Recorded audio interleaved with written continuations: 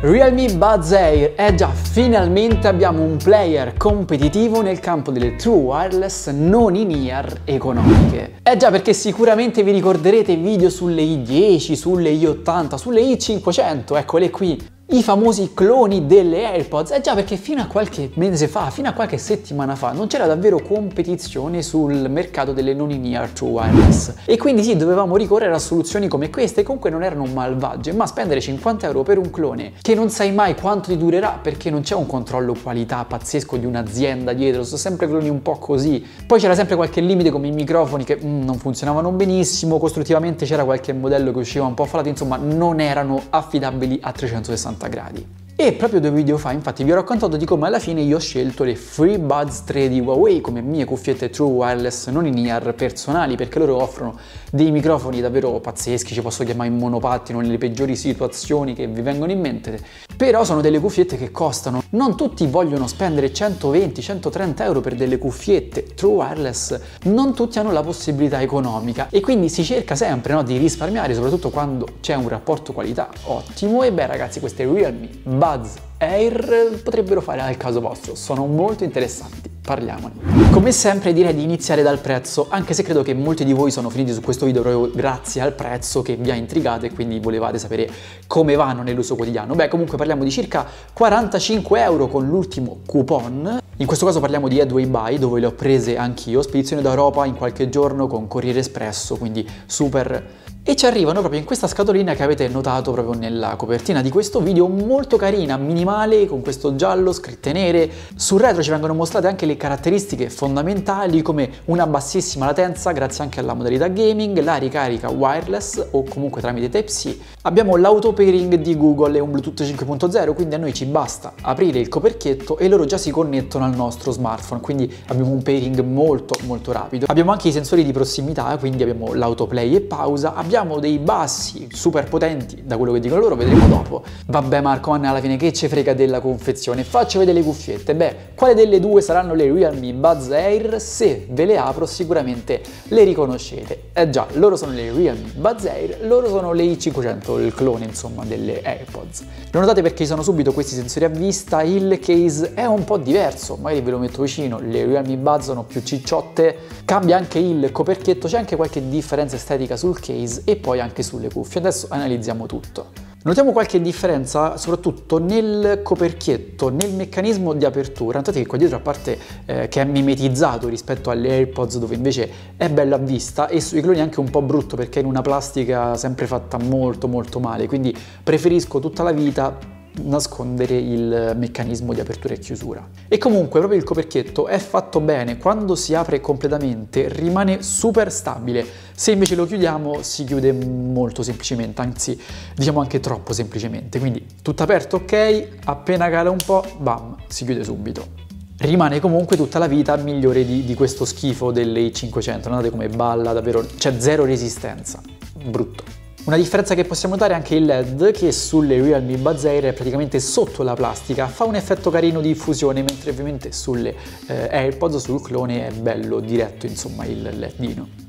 Tra l'altro abbiamo il tasto di pairing, sotto c'è la Lightning sul clone, mentre qui abbiamo la Type-C, vi lo stavo dicendo in precedenza. Secondo me la Type-C è tutta la vita migliore per chi come me non ha un iPhone rispetto alla Lightning. E qui anche abbiamo il tastino per il pairing frontale e se ve lo clicco potete notare anche il LED magari che switcha sull'arancione. Vi ho detto del pairing immediato, beh vediamo se è vero. Apriamo il case. Eccolo qui, si sono connesse, notate da sole, quindi basta aprire il case e già si connettono. Poi le estraiamo e ovviamente andiamo ad ascoltare il nostro contenuto multimediale. E proprio estrarle è molto molto semplice, come potete notare, e si indossano altrettanto semplicemente, però anche le cuffiette hanno qualche differenza dalle AirPods. Alla mia sinistra la Realme Buds, a destra il clone delle AirPods e come potete notare ve le sto girando un pochino, le differenze ci sono eh, sia di dimensioni, la Realme Buds è un pochino più cicciottella, sia anche in qualcosa come la posizione dei sensori, i microfoni. La parte inferiore, il gambuccio, no? notate che qui è piatto, è anche un pochino più cicciotto, leggermente come lunghezza invece siamo praticamente alla pari.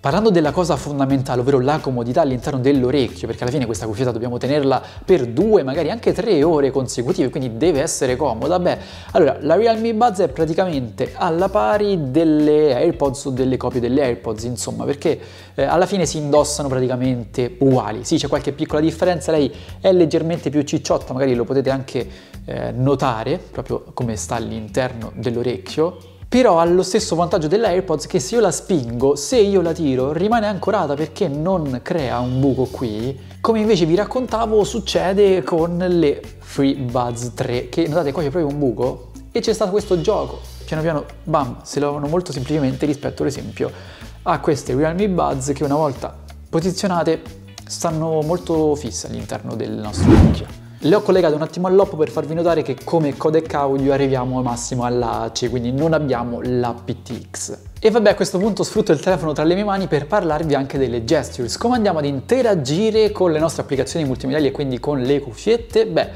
doppio tap, mettiamo in pausa, con un doppio tap anche sulla sinistra mettiamo sempre in play o pausa, quindi doppio tocco parte, ok, ci siamo. Ogni tanto ci perdiamo qualche piccolo tap, dovete farli belli decisi. Se faccio un triplo tap, passiamo alla successiva, ma in realtà anche se ne faccio 4, cioè se continuate a tappare all'infinito, skippate comunque traccia. Vi mostro a questo punto anche i sensori di prossimità che funzionano molto bene. L'ho levata, si mette in pausa, la rimetto e si mette play. Sì, c'è qualche piccolo secondo di ritardo, però insomma nulla di che. La cosa importante è che alla fine funziona. Possiamo poi tenere premuto sia sulla sinistra che sulla destra per far partire l'assistente vocale e ovviamente poi funzionano i microfoni delle nostre cuffiettine.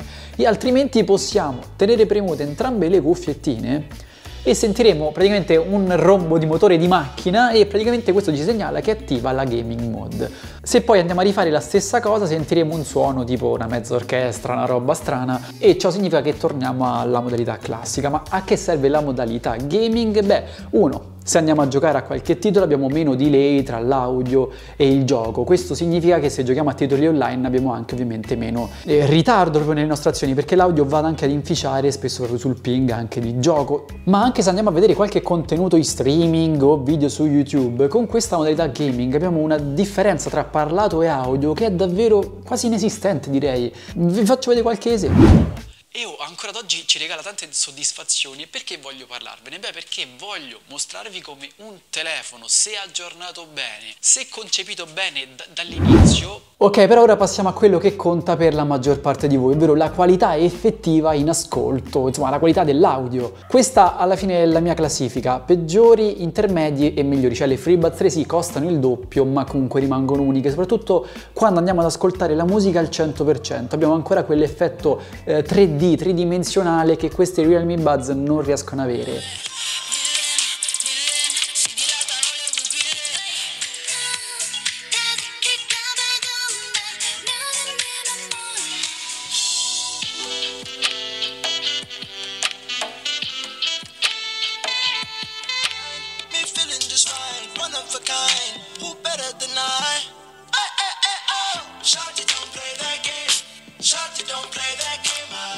Ecco, insomma, ho provato a farvi ascoltare qualcosa, ma comunque non è veritiero al 100%, è difficile eh, farvi sentire 100% la qualità audio di queste cuffiette tramite una registrazione di microfoni e beh, tutte queste cose qui. Però fidatevi che sono buone, migliori dei cloni, molto migliori dei cloni, e vi dico anche che per la qualità audio non pagherei comunque il doppio per queste FreeBuds 3. Quello per cui pagherei il doppio sono i microfoni. Sì, i microfoni ragazzi tra queste FreeBuds 3 e queste Realme Buds, eh, sì, c'è, c'è una bella differenza. Ascoltiamoci qualche chiamata. Allora, ti chiamo dalle Realme Buds Air, che vabbè, cuffiettine, circa 45 euro per farti capire più o meno il target. Come mi sente? Adesso sto in esterna, non è che posso girare in giro per il mondo, però insomma questo è l'ambiente più caotico che posso eh, visitare. Come mi sento? Sto camminando un po'. Mi sento abbastanza chiaro, non perfettamente cioè, cristallino. Cioè, ma qualche rumore tipo un laghetto qua dietro, insomma. Però mi senti chiaro la voce, un rumore sì, di fondo. Rumore di fondo, per ora nessuno. Cioè... Mm. Buono, ecco, tipo come è da una macchina, di macchine, qualcosa? No, no. Seconda chiamata sono con il buon Tommaso, che lui sta sempre al telefono, lui è un imprenditore famosissimo, non possiamo dire, ma insomma di più. E vabbè, comunque te fai molte chiamate, no? E mh, mi stavi dicendo prima come mi senti più o meno, come valuti queste cuffiettine? Eh, il budget ho detto prima, 40 euro più o meno siamo, quindi se uno ti chiama con queste cuffiette, si può fare, non si può fare, gli attacchi il telefono Ah. in faccia? No, dai, scherzi, figurati. No, si sentono bene, diciamo, eh, un filino bottato, però si sentono Mm. bene e io come eh, in linea di massima potrei anche consigliarle, sinceramente. Le Ecco, metto, ecco, le metto nella lista della Tipo ora sta passando qualche macchina sul retro, hai sentito casini, impicci, c'è un po' di... No, no, ti, sentito ti dico, qualcosa? la, la un pochino è- passato? arri- Sì, un pochino, però la voce Mm. arriva, arriva bene, si Mm. capisce bene. E che quello importante, il resto, Beh, sì. E quindi avete ascoltato qualche situazione tranquilla perché loro, la loro criticità esce fuori quando c'è molto rumore, perché la cancellazione del rumore mm, non funziona bene e i rumori non vengono molto cancellati, la nostra voce viene un pochino modificata, ma più che altro i rumori sono belli presenti. Per esempio stavo in cucina, stavano facendo un casino a fare preparare torte, robe e sì, la- dall'altra parte sentivano un sacco, un sacco di casino. E per quanto riguarda la batteria, non male, siamo sulle tre ore e qualcosa, di- dipende molto da che ascolto andate a fare, da che eh, tipo di musica ascoltiamo, se stiamo visualizzando film, chiamate. Comunque di media siamo sulle tre ore, quindi non è una cosa fantastica, quasi a livello delle FreeBuds 3, un pochino più dei cloni, quindi anche in questo caso batteria meglio dei cloni e stiamo pagando praticamente lo, lo stesso prezzo, quindi batteria tutto sommato approvata. E quindi sì, io non vi faccio perdere molto altro tempo, perché avete capito alla fine che queste Realme Buds sì, mi sono piaciute, valgono la pena, più che altro la qualità audio mi ha sorpreso, ok, non abbiamo quell'effetto super 3D, quell'audio caldo, ma chi se ne frega, stanno a pagare 45 euro, è complicato trovare qualcosa di meglio, abbiamo la modalità gaming che ci annulla praticamente quasi completamente il delay audio, abbiamo delle buone gesture, insomma, tutto sommato ricarica wireless, Type-C, mi piacciono, ve le consiglio, se cercate qualcosa di non in ear, abbastanza economico, probabilmente compatibile col vostro orecchio, loro, vi consiglio loro.